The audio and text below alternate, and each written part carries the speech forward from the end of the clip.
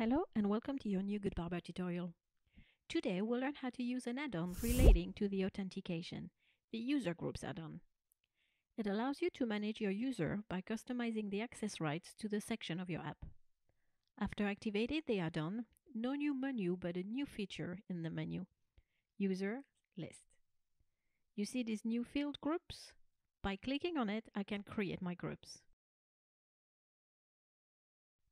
This is where I can manage them and view the list of groups already created. Now I just have to distribute my users in my groups. A user can belong to several groups at a time. Once my groups are filled, I can define the access right of each group. From the menu Users, Public-Private, by default, access to private section is set to all groups. Click on the plus sign Select the group to which you want to give access to private content, whether the entire app or one or more sections. It is possible to allow access to this private content to several groups at the same time. And voila! Don't forget, you also have the possibility to use groups to target your user in sending your push notification.